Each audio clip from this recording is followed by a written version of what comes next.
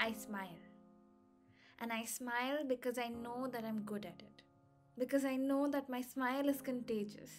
And you'll catch on to it sooner or later. And you'll wear it on your face like that bit of chocolate on your lip that you've been flaunting unknowingly. You'll catch it like a trapeze artist catches a bar.